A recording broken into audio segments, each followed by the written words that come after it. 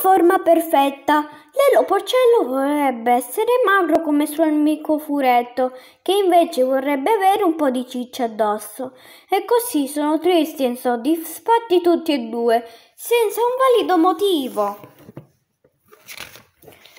Non dobbiamo pretendere di essere diversi co- da come è la nostra natura, bassi, alti, magri o grassottelli. Siamo comunque noi e non è affatto detto che cambiando miglioreremmo.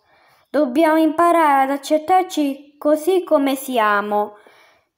Se vogliamo che ci sta attorno, fa- faccia lo stesso.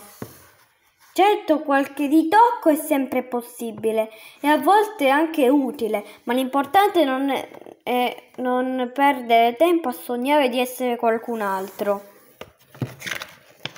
Comunque, non fare come quelli che peggiorano la situazione per avere una scusa per lamentarsi ancora di più del loro aspetto. Attenta a non renderti ridicolo cercando di apparire con trucchi vari diverso da come sei.